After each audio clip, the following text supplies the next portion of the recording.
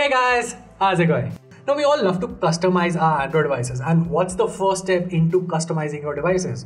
Well, it's obviously installing a custom launcher. But with so many great options to choose from, what are the best ones out there? Well, that's what this video is all about. In today's video, we'll be taking a look at some of the most unique, customizable and fluid launchers that you can install on your Android phone. They're all free, come with a ton of features, and most importantly, don't eat up your battery. So without wasting any time, this is one from Guiding Tech, and this is my list of the top 10 best Android launchers that you can use in 2022. Let's get started.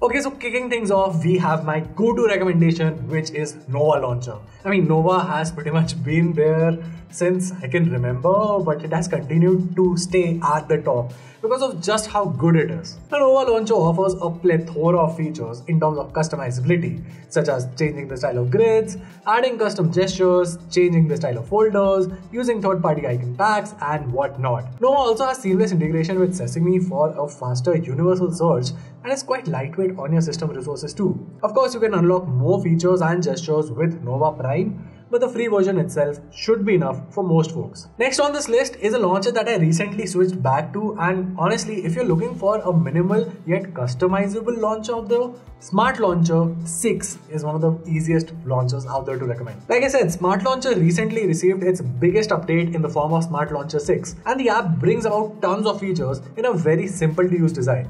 It features a powerful search engine that allows you to search for what you need in just a few taps. There's automatic app sorting as well, so you don't have to waste your time organizing your icons. You also get both gestures and hotkeys, which are configurable, and there's support for app notifications as well. The launch is also one of the rare ones to work almost perfectly with Android gesture navigations, while most other ones just fail to work. Alright, so moving along, I basically use two Android phones on a daily basis. Like one is this Android phone and the other is this iPhone.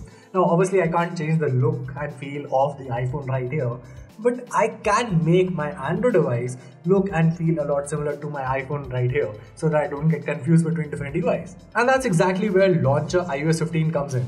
It is basically what the name suggests. It brings iOS's launcher to your Android device. Now I know there have been multiple fake ones, but this one works amazingly well. It's unbelievable how close the launcher is to the real iPhone experience. Like long pressing an app icon brings up an iOS like menu of options to rearrange and remove the app. The launcher also provides the iPhone's home screen like widget section. Additionally, you can also download apps from the developer to get features like Apple's Control Center and Assistive Touch if you really want the full-on iOS feel on your Android phone. Next up, this is a list of the best Android launchers. So of course, Lawnchair had to be here. While the development of it had been paused for a while, it has resumed and the developer is working on Lawnchair Android 12 right now. Lawnchair takes the Google Pixel launcher as a base and then adds a whole lot of customizability to it. You can customize the dock, the home screen setup, various gestures and so much more. If you're looking for a launcher that offers a ton of features but doesn't require you to spend a lot of time learning it,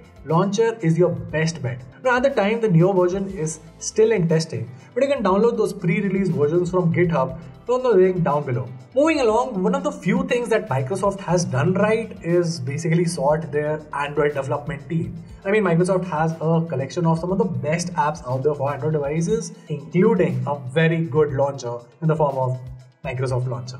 Designed for productivity enthusiasts, Microsoft Launcher offers a smart card composed of several actions, including tasks, sticky notes, a calendar, frequently used apps, screen time usage, and recent activities. Now, there are various customizability options on offer as well, such as customizing your home screen, gestures, app drawers, icon shapes, and so much more. We also get daily wallpapers and the support for use in landscape as well.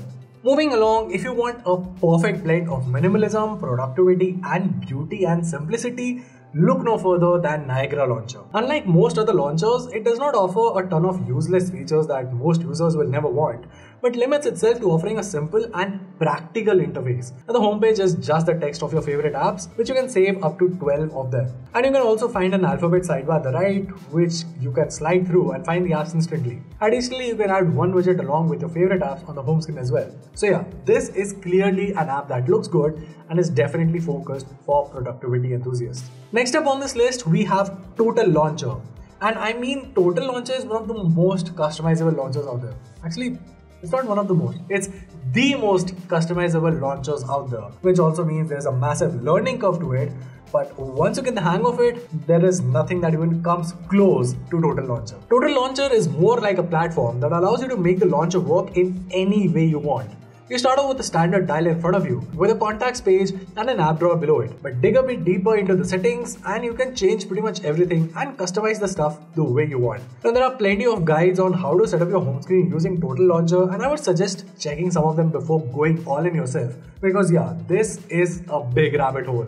Moving along, one of the more modern launchers to come out here and go head to head with the likes of Nova and Microsoft Launcher is Hyperion Launcher. Now, Hyperion offers pretty much the same smoothness like that of Nova Launcher along with some cool animations and a ton of features. You get folder cover gestures, easy icon selection, integration with Google Home Feed, multiple accent colors, custom docks, and well, even the ability to change the font. Alright, so here's a thought. A lot of folks out there use a launcher but have multiple pages inside it, you know, have one page for the apps, one page for widgets, one page for maybe just the clock widget, stuff like that.